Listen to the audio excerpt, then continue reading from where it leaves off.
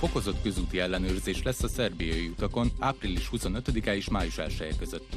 A cél a gyorshajtás kiszűrése. A közlekedési rendőrség az összes sebességmérő eszközt beveti majd, vagyis a kéziradarokat, a videó megfigyelő rendszerekben lévő radarokat és a rendőrségi jelzés nélküli járművek sebességmérő készülékeit, míg az autópályákon mérik majd az átlagsebességet is.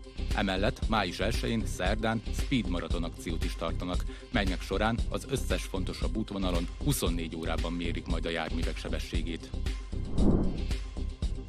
Több embert megkéseltek, egy férfit pedig lelőttek szombaton Sydney egyik forgalmas bevásárlóközpontjában. Közölte az ausztrál rendőrség felszólítva az embereket, hogy kerüljék el a környéket.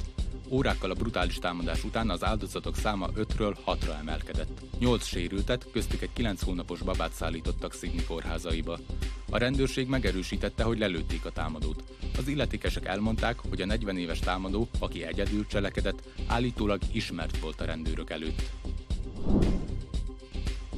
A pollen szezon legerősebb időszakába érkezett. Egyszerre több mint 20 féle allergén virágpora található meg a levegőben, többségük tüneteket okozó koncentrációban. A kedvező időjárási viszonyok miatt kezdődött idén korábban az allergia szezon. Az allergiás reakciót a fák, füvek és egyéb virágos növények finomabb, szabad szemmel nem látható virágpor szemcséi okozzák. A fák virágpollennyire allergiás személyek most a legérzékenyebbek, hiszen a levegőben jelenleg a tölgy, a nyírfa, a ciprus, a kőris és a fűz pollen koncentrációja a legmagasabb. Ismét találkoznak a Fekete-tó közelében lévő kiterjedt tanyavilág egykori lakói és azok leszármazottai. Az összejövetel alkalmából átadtak és megszenteltek egy emlékkeresztet is. Nagyjárás egykor kiterjedt, közel 100 házból álló tanyavilág központja volt, mintegy 400 lakossal.